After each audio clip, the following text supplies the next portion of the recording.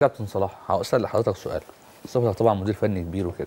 طب تغير اللعيبة وشكل الفرق الفرقة مع كابتن خالد جلال مختلفة جدا عن إيهاب جلال كابتن إيهاب جلال. طب معلش ما نفس الع... نفس القماشة زي ما بيقولوا يعني. طب إيه الفرق يعني؟ ما... ما أنا أنا مش أنا ما حضرتش الاثنين بس أنا بقول لك هي معاملة. هي اللعيبة هيديك إمتى؟ الروح مش والرجوله فكر أقوى؟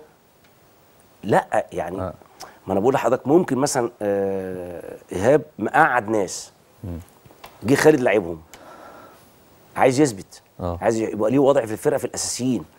ودي بتيجي لو أنت حاولت تثبت تشكيلة هتلاقي في منافسة.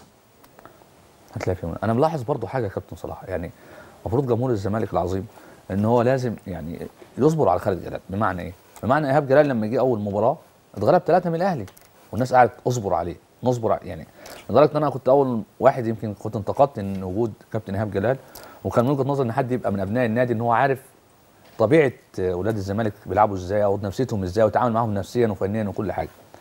شايف خالد جلال اتعادل فالناس بتقول لا خالد ولا يعني فندي الفرصة لخالد جلال ونسيبه. نسيبه شايف إن الأداء كويس بتاعه. وشايف إن هو فيه يعني حماس لل يعني شايف إن أولاد النادي الزمالك عارفين يتعاملوا مع أولاد الزمالك أفضل من أي مدرب من هو من هو بره. ده أكيد. بس هل الجماهير دي هتستحمل لا ده المدرب. المصري؟ ده المشكلة. عشان كده الأستاذ مرتضى بيعمل إيه؟ بيجيب أجنبي ويخلي واحد مصري معاه. خلي واحد مصري معاه.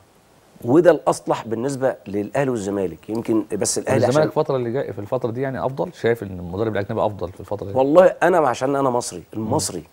المصري. بس دايما آه الجمهور. الجمهور بيضغط. النتائج مش مساعداك. محدش بيستحمل. آه، يبقى في تغيير بسرعة أو بيطالبوا بالتغيير بسرعة. يعني مين اللي مشى فلان؟ ومين اللي جاب فلان؟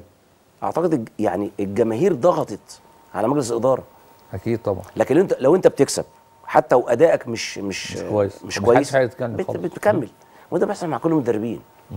بس هو زي ما بقول لحضرتك الناس كلها باصة للزمالك. فأنا عايزهم بس يبصوا للزمالك يساعدوه آه. يبقوا في ظهره. وأنا واثق بقول لحضرتك تاني واثق في اللعيبة دي هتعمل كل حاجة كويسة لنادي الزمالك في الفترة الجاية. طبعا عاملين فقرة جديدة. نشوفها نرجعك لذكريات زمان. حاجة اسمها مباراة للتاريخ نشوفها ونرجع لحضراتكم تاني. ونستقبل كابتن سعيد عبد العزيز وكابتن إن شاء الله. إن شاء الله اتفضل.